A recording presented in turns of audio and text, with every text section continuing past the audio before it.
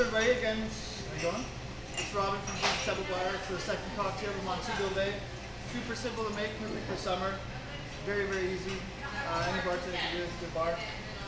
So what we got here, we've got uh, inspired by Jamaica, Jamaican sorrel flowers which are dried.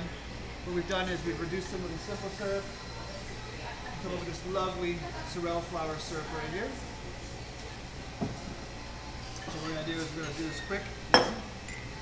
Three ounces, Appleton's VX. It's a big one.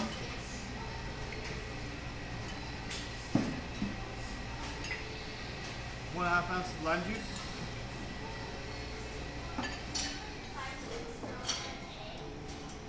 Three dashes of plum bitters. Part one.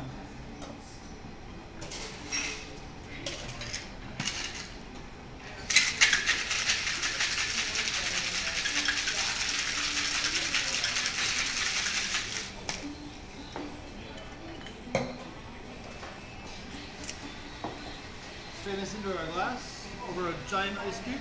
Perfect. Keep the dilution factor down. I'm very picky about food. This is really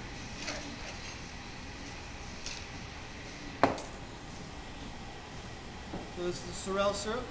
And we're just gonna put some cassis liqueur in there. I'm just gonna put it right over the top. A nice blend of a. There we go. Very simple on the garnish. Some orange, dusted with a bit of lime zest on the side. There you go, the Montego Bay.